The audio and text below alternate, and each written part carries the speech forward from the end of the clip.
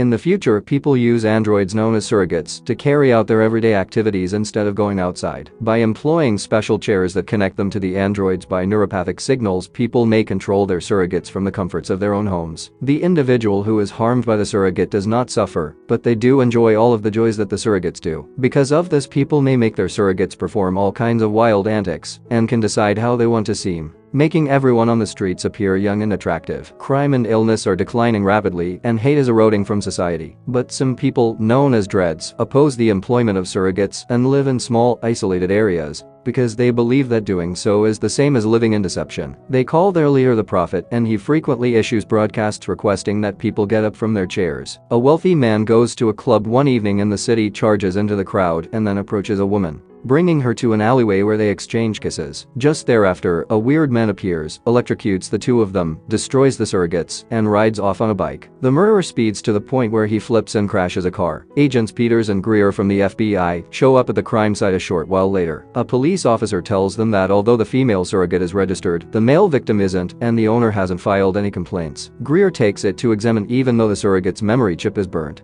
and both of its eyes are burned out. Upon entering the female surrogate's owner's residence, the agents discover that the man is lifeless and has a bleeding nose. Upon inspecting the controls, they find that the female surrogate observed her partner's eyes burning out just before the broadcast was interrupted. Greer then confirms that he also utilizes a surrogate by returning home and having a glass of water by himself. The real Greer gets up from the control chair and walks into a child's room where he looks at a picture of himself with his wife and their child as the android parks itself in the closet. He then follows up with his wife Maggie, who speaks with him via surrogate. Greer wants to go on a genuine vacation that is, without using the android bodies. He also notes that just their surrogates have been seeing each other for a long, and Maggie claims that this is preferable.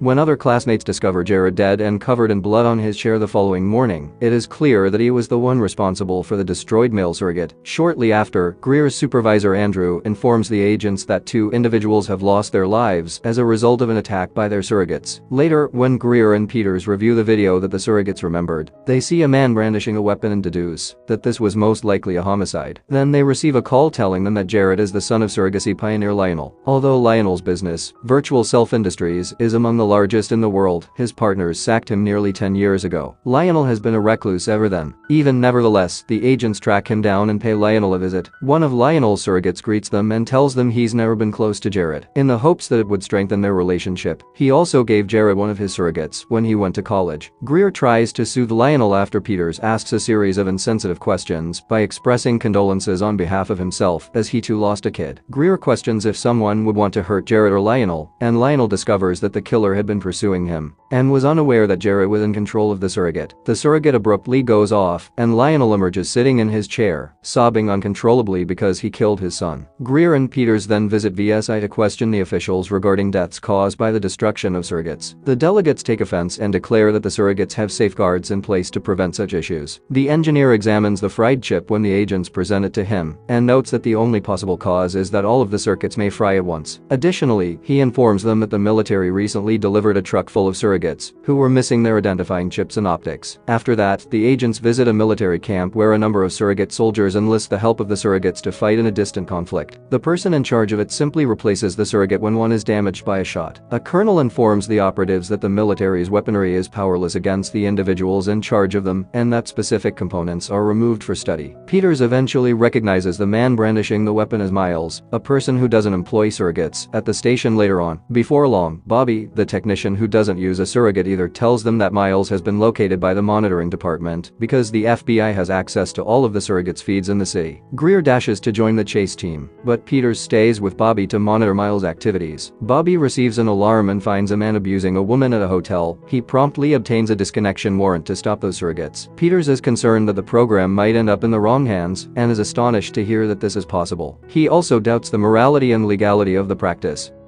While all is going on, Miles is riding his bike around the city and Greer is pursuing them in a helicopter. With the bike, Mike can maneuver through tight spots and perform some wild stunts to gain the upper hand, but finally he gets surrounded and crashes into an alley which gives the cops instant access to him. Miles abruptly draws a gun and fires shots at the cops, shocking them with a shockwave that causes the surrogate's eyeballs to jump out and convulse. Then he fires at the helicopter, forcing Greer to instantly disconnect. As the pilot is struck by electrical current, spinning down the aircraft. Miles rushes to a dread colony, only to have his helicopter crash into it. Greer returns to his surrogate at that precise moment and plunges into the dread zone as well. Fortunately, he just sustains a broken arm and sets off to pursue Miles right away. However, the dreads become enraged upon discovering a surrogate in their territory and begin after Greer as well. Miles starts attempting to use his weapon again as they race through various slum areas, but it isn't functioning. Greer leaps and climbs over different structures to get the upper hand, but in the process, he gets struck by a truck. He merely keeps moving forward because he is incapable of feeling pain, and eventually he corners Miles and demands the weapon. Greer receives his bag from Miles, but before he can open it, he is shot. Miles disconnects from his surrogate as a woman calls him an abomination and keeps shooting at him while he returns the bag. When Greer tries to leave his room at home while bleeding, he passes out in the hallway. Maggie is lucky enough to locate him and dial an ambulance. Miles wakes up later and finds the Prophet and his men searching his home for the weapon. Miles acknowledges he doesn't know where the weapon originates from when the Prophet asks. He is paid to use the weapon by an unknown someone who contacts him using disposable phones, but he is unaware of this. News channels quickly report that the Prophet has declared a revolution against the Surrogate Society and views the down chopper as a personal attack on the Dreads. Greer wakes up at the hospital as well, and Andrew tells him he's been suspended. Greer filled with rage, storms out of the hospital and meets Peters. However, he begins to feel lightheaded as they walk. Seems to be an after effect of utilizing a surrogate for an extended period of time. Peters attempts to find him a new surrogate, but something feels off about those arbitrary models. Greer makes the decision to visit the Dread Colony, and because he is a real person, he is admitted. He's disturbed to see his surrogate crucified as he glances about.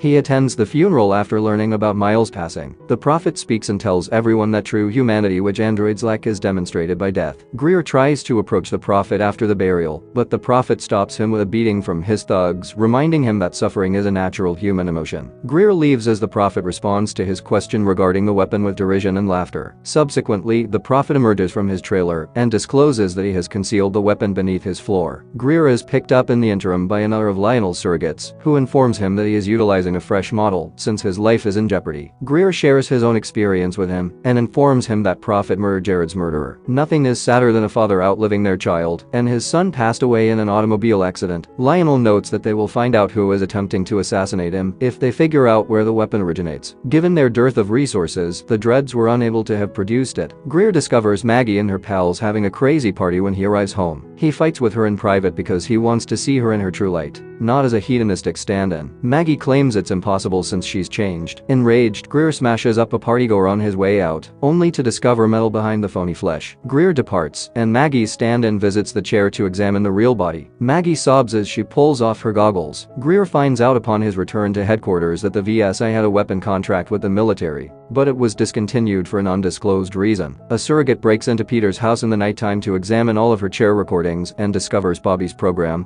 which has the ability to stop all of the surrogates. After giving Peters multiple gunshot wounds, he takes her system and links it to a different individual. The stand-in for Peters is prepared to go at headquarters. Greer meets with the colonel once more the following day and presents him with an image of the weapon. The colonel acknowledges that's the weapon the military was commissioned to use, but all of the prototypes were allegedly destroyed once it was realized that the people behind the surrogates were also being killed. Greer tells the colonel that the weapon is with the Dreads, and he declares that the military will retrieve it. The Prophet hands the weapon to his troops at the Dread Zone and gives them the order to give it to Peters. Afterwards, Greer makes an effort to discuss their relationship and their son's passing with Maggie. Maggie becomes irate and remarks that the only reason she's still alive is because Surrogate gives her a way out of the real world. Maggie exits her surrogate and takes a pill, while Greer persists on attempting to have a conversation.